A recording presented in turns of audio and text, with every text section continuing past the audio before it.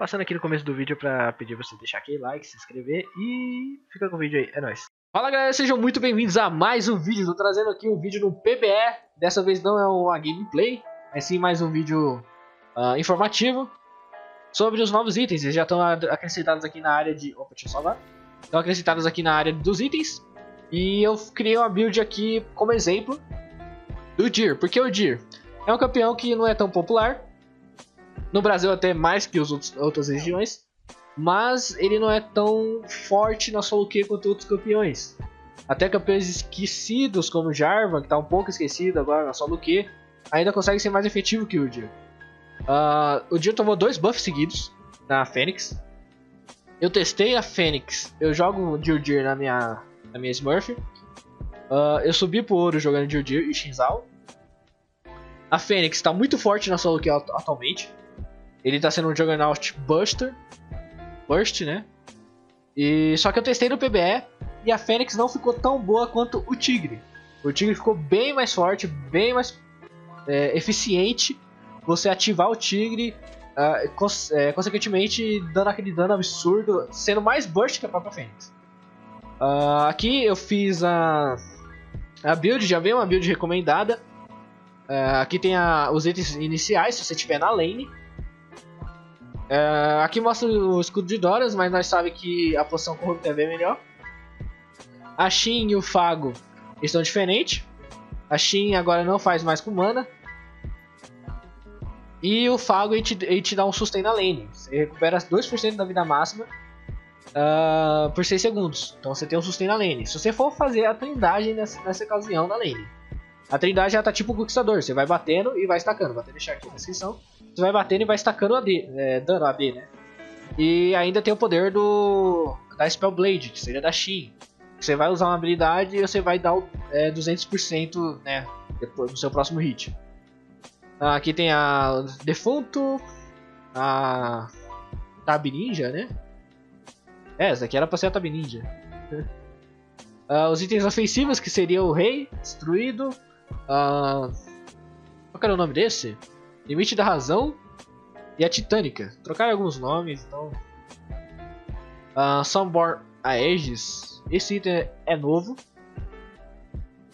Esse item é novo e dá armadura e resistência mágica e poder de habilidade. Oh, aliás, poder de habilidade não. Rate Haste. Seria a nova redução de tempo de recarga. Uh... É um item mais defensivo. 450 de vida é muita coisa. Tanto que é um item bem, bem mais caro, né? Ah, tem a padrão Frozen Heart, que é o de tartaruga ama esse daqui. E o Spirit Visage, né, o semblante espiritual. E aqui nós passa para Jungle. Na Jungle tem, você pode escolher entre os dois Smite, né? Vou achar aqui, ó, o vermelho e o azul.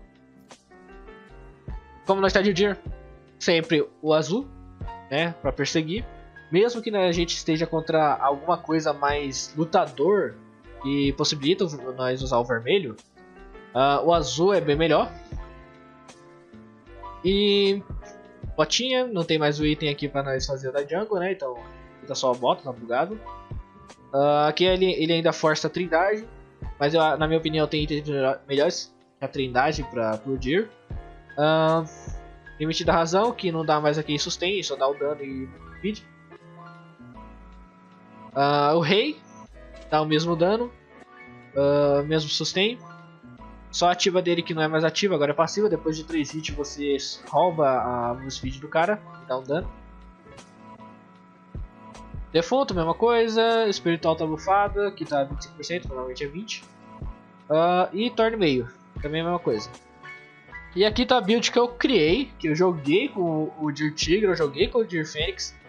E essa foi a build que eu mais gostei para ele, que pode ser usada para outros lutadores que necessitam de dash. Shinzal eu gostei mais com Kraken Slayer, mas outros campeões que precisam de dash na jungle são mais imóveis também. O Galeforce vai ser muito forte para ele, vai ser bem essencial. O Galeforce, cara, ele te dá ataque, te dá ataque speed e te dá crítico. Isso para um DPS é mais que suficiente. Só falta uma life steal aí para ficar perfeito. E ele tem ativa que ele vai dar um dash E esse dash vai dar dano, vai dar um dano mágico, não é nem AD, é mágico mesmo. Então ele vai dar um dash, mesmo que o dash seja no tamanho de um flash ou de um flex. Ou até. Dash, vamos falar de um dash minúsculo aí. Dash do Graves. É tipo esse tamanho, mas é um dash. E esse dash dá dano ao alvo próximo, sempre priorizando é, campeões. Tem o Cutelo, que recupera vida por causa do Fago. Uh, do Fulgor, né? Perdão. E continua com aquela passiva de diminuir a arma. É ótima por Deer. Uh, Cecil River. Cecil River eu achei muito interessante. Por causa que ela é como se fosse uma trindagem menos forte, né? Uma trindagem nerfada. Que recupera mana. Que, que a, a esse River vai fazer? Ela vai te dar ataque, vai te dar crítico. Só nesses dois itens aqui você vai ter 40 de crítico. O Deer não é muito usado, né? Pô, Deer usar crítico? Não. É por isso que você vai entender a build depois. Uh, esse River você faz com CDR, crítico, né? O AD da, da CDR e a Shin. Então o que, que você vai fazer? Você vai usar uma habilidade e vai dar dano. Oh meu Deus, um Everfrost aqui, é, aqui.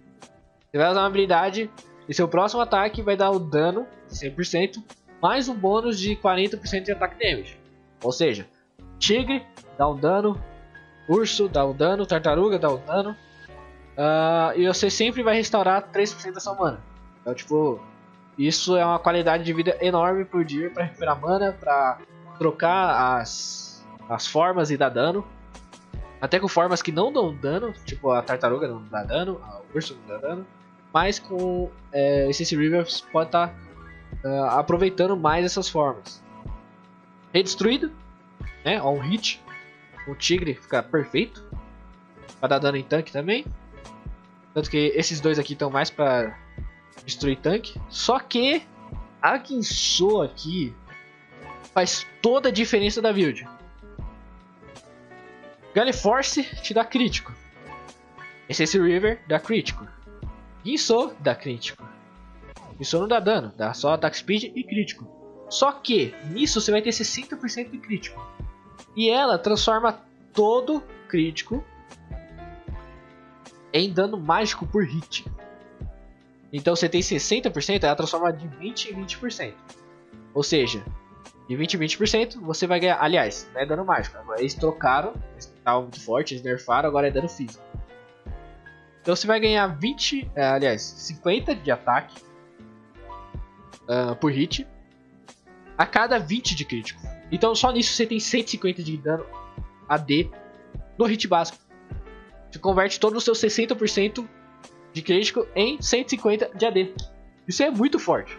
E você não tem mais aquela passiva de destacar 6 vezes para poder contar o double hit. Agora você vai dar o double hit sempre né, a cada três ataques, você vai dar o double hit. Só que você não precisa mais destacar. Então isso fica extremamente forte por. Tem uma play, eu vou até passar na tela, e tá extremamente forte. Eu joguei a Galiforce, cheguei na Serafine, explodi ela, fui correndo com o urso até a a cena e eu estaquei o tigre nela com a Guinsou, que ela morreu na hora. Então aqui temos uns itens alternativos, que é defunto. Uh, se você quiser mais move speed, um dano extra e ficar tanque AD. Temos três opções AD aqui, né? Como o coração congelado, para aguentar mais, sua tartaruga ser mais. O escudo da sua tartaruga ser mais eficiente. E a torne meio. a torne meio para dar feridas dolorosas. É para ativar o corta-cura. Uh, aqui no meio eu deixei um outro item de corta-cura, só que para lutador, não é tão tanque. Uh, e te dá 20 de, de vida, ou 20 não, 200 de vida. Te dá Blitz Haste e te dá dano, ou seja, um corta-cura meio off-tank. Daí também funciona para o. Se não tiver muito tanque lá, aliás, se não tiver muito dano lá, que os caras tá explodindo, você pode estar tá usando um corta-cura assim e maximizar seu dano, você pode usar isso. Então temos três opções de resistência mágica, que seria a Spirit Visage para aumentar a sua cura do tigre, tanto do rei também. Oh, do tigre não, da tartaruga. A mandíbula. A mandíbula não tá tão forte. Ela tá forte a resistência mágica dela. Uh, ela dá é, aquele shield ainda, só que ela não tem mais a passiva de Life Steal. Assim como o Limite da Razão também, não tem a passiva de Life Steal. Só dá o dano é, por hit. Temos a esteira, que tá bem forte, a esteira. Ela tem duas passivas, uma é a do shield, tanto que tava bugado a passiva do shield. E tava tipo deixando você full shield quando você ativava. E também tem a passiva de dar dano de acordo com a vida máxima, se não me Aliás, re restaura a vida. Você restaura a vida. É, é o mesmo. É como se fosse o. O, Fago. É o Fago ou o Fulgor? Agora eu sempre confundo. Eu acho que é o Fago. É o Fago, só que sempre. Só que é mais maximizado. Uh, Dance da Morte não tá tão bom quanto era. Ela não dá mais Life Steal. Ela dá armadura só, não dá mais resistência mágica. Uh, e dá Breach Haste espadão. Ó. Dano, dano e tanque. Armadura. E ela tem uma passiva de você ignora, claro, o 35% do dano físico.